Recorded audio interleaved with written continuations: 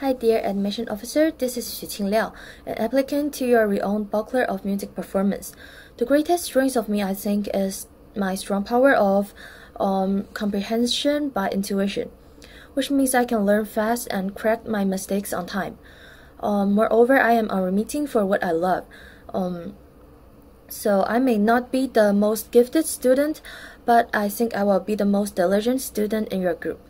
Studying with the intensive guidance from your first class faculty, I believe my potential will be stimulated fully. Um, by supplementing uh, my knowledge in music um, systematically and practicing with useful skills that shared by experienced professor. I am also expecting to communicate with classmates um, of different culture backgrounds, um, which helps broaden my horizon and may cause the collision of thoughts that contributes to my study.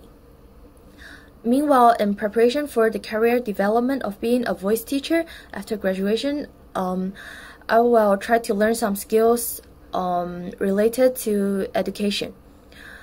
I am interested in a creative thinking uh, teaching method um, called Orff Music, uh, which is basically using your body as an instrument um, this is an example um, like you can clap or like hit, hit, hit your body to make some rhythms um, and I think I will try to like have a deeper under, uh, understanding of Orff music um, uh, at the same time while I studying my voice performance.